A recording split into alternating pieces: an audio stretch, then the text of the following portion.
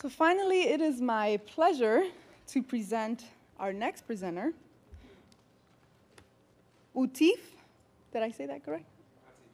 Atif Bostic. Got that? Okay.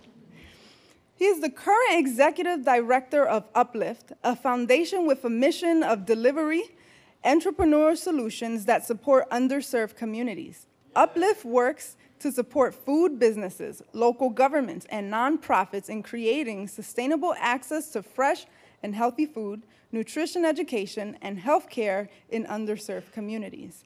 His role as executive director in his role as exec executive director, Atif is responsible for the organization's three main areas of focus the creation of sustainable food access, access to healthcare, and access to capital in underserved communities. Prior to joining Uplift, Atif supported Community Reinvestment Act and internal colleague training initiatives. And for his leadership roles, Mr. Bostic was recognized for his outstanding work in 2012 with the Chairman's Award for employing a high-performing and engaged workforce. And again in 2014 with the Community Development Business Partner Award.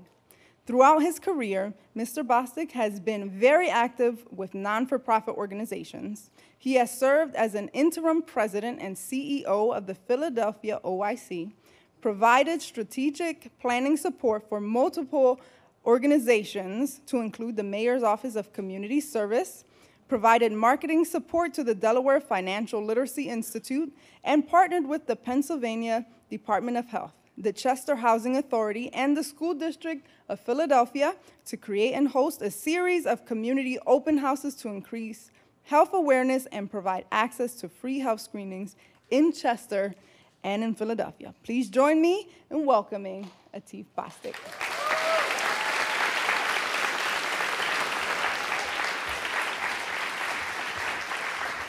Thank you. So uh, I think the first thing I want to do is go to our website and uh, decrease the amount of words in the bio. That's my first order of business, first thing in the morning. Um, thank you for having me here tonight, uh, and I want to congratulate all the nominees and award winners so far. Everyone in this room is a winner.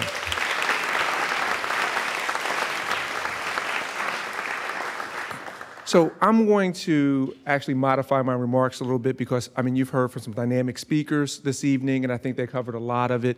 And I think I'm between you and more drinks or something or getting out of here. And so, um, so I'm going to, to get right to it. So again, my name is Atif Bostic. I lead an organization called Uplift Solutions.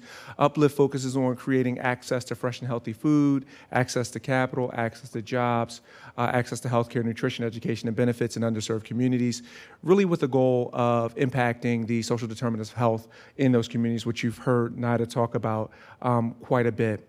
And at the core of the work that we do is really built around sustainability. And so, how do you sustain those uh, those projects? Um, how do you help to improve communities? And to Nida's point, it's absolutely right. When you look at certain communities, that's where this exists. And so, um, again, I'm going to modify my remarks a little bit and get right to the awards and start talking about those who do this work uh, this evening. So, um, let's jump right into it. So, the first award goes to Climate Hero. These nominees are combating climate change through communications and large scale initiatives and programs which dramatically improve sustainability through infrastructure, policy, restoration, and research. And the nominees are Climate and Urban Systems Partnerships, the climate, all right, there we go. I was paying attention, so, I, but I forgot. I need to give space for, I'm sorry. I promise I'll I, I get the next one right. The Climate and Urban Systems Partnership is a group of informal science educators, climate, climate scientists, learning scientists, and community partners to explore in, uh, innovative ways to educate city res uh, residents about climate change. The second nominee, Manal Raval,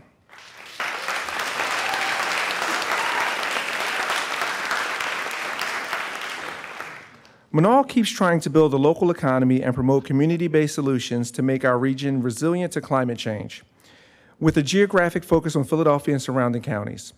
all whilst embracing a zero waste, low carbon, voluntary, simply simple lifestyle in Mount Airy. Great. Wow. Zero waste, low carbon. That's great. Sarah Wu.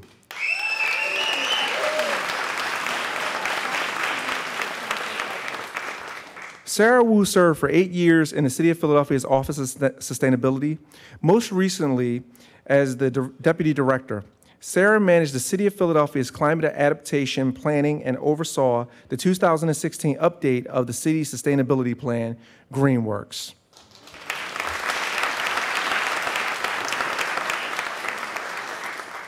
All right, I have a few concerns because I heard that Ernst & Young prepared these. And Steve Harvey actually wrote them out. So, right in advance, I have to apologize. All right. So, the climate hero for 2018, Sarah Wu.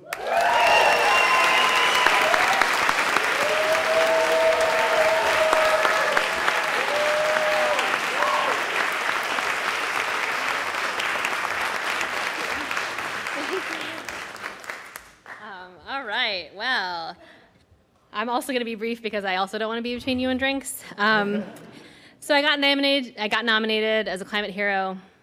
I didn't really feel great about that, so I went like all good English majors would do and looked up here in the dictionary. It didn't make me feel any better. I don't feel very heroic. So I was struggling with this nomination, and I thought, you know what? I'm thinking about this the wrong way. It's not that I'm not a climate hero, it's that we are all climate heroes. Um, so. I've been thinking a lot about this quote from Walter Munk, who's a pretty famous oceanographer, and he said that to solve climate change in the next century, it will require a miracle of love and unselfishness. So that's what I'm here to call for tonight. Um, hopefully, we can all, as climate heroes together, work toward this love and unselfishness. Um, and I think my, I'm going to do a call to action, which is my like calling card. Uh, so I'm going to ask you guys to do three things toward this miracle. One is be curious. Climate change is really complex. We don't know how we're going to solve it or fix it or be in it. Um, so keep an open mind and um, be curious.